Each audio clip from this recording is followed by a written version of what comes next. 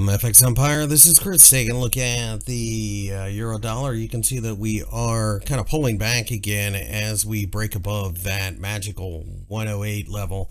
Seems like there's a lot of noise up here, so not a huge surprise. I think we continue to go back and forth. Um, if we do break down below like 107 and a half or so, then I think we go to 106. On the other hand, we turn around and take out 109, then 110 is a clear path. So a lot of chop, uh, a lot of back and forth. I think that continues, at least in the short term.